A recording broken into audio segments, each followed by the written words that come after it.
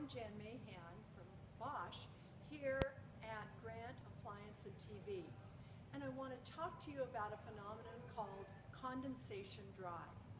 What is it and how does it work?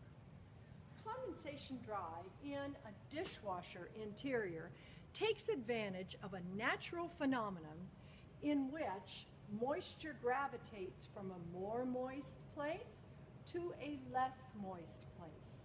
In this case, the dishes are moist from having been being washed and they're hot from that final rinse water. And the steam will gravitate to the stainless steel walls of the dishwasher, condense and run out the drain. How do we facilitate condensation dry? We scrape, don't rinse our dishes. We always use auto cycle and we always add in the extra dry or the sanitized option to ensure that our dishes dry.